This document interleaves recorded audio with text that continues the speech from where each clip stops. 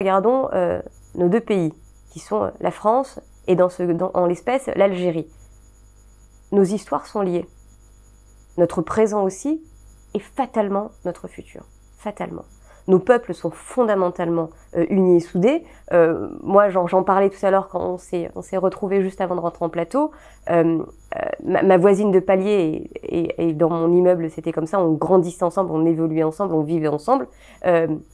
était bien évidemment, pour moi, enfin, il n'y avait pas de débat, c'était une, une, maman, mais elle était franco-algérienne. Et ça nous a jamais, enfin, on a toujours vécu en harmonie et c'est comme ça qu'il faut le voir. En revanche, il y a eu un sujet pendant très longtemps qui a été mis sous le tapis, c'est la guerre d'Algérie, qui a larvé euh, beaucoup de difficultés, beaucoup euh, de conflits intériorisés, beaucoup de rancœur et beaucoup d'incompréhension. Pendant longtemps, il a s'agit effectivement de le mettre sous le tapis et de se dire on ne regarde pas, on, avance, etc.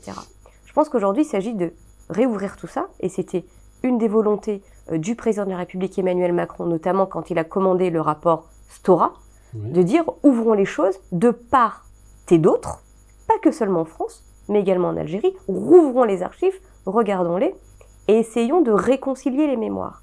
Attention, il ne s'agit pas de venir réécrire l'histoire, il ne s'agit pas de venir oublier certains passages, mais de regarder tout cela de façon très lucide et posée.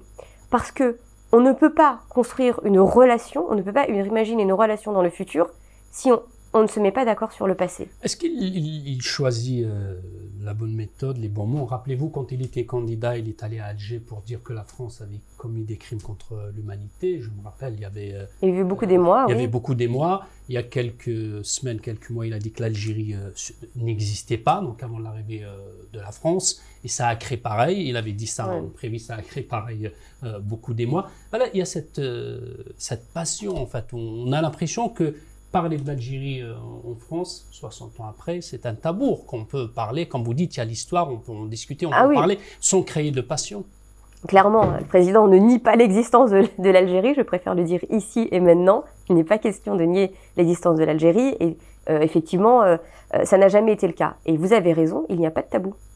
Donc le président de la République, et d'ailleurs c'était quand il était candidat, a tout de suite dit, parlons des choses franchement. Il n'y a pas de sujet. Parlons de nos relations de ces deux pays qui sont fondamentalement liés, fondamentalement liés. On a des parts d'ombre dans notre histoire, mais on a aussi de belles parts de lumière. Et donc, le but est d'avancer.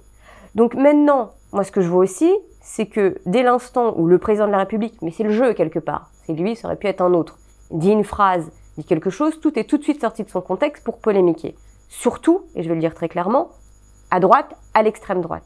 Moi, ce qui m'intéresse, ce sont les peuples. Et on a fondamentalement besoin d'avancer ensemble.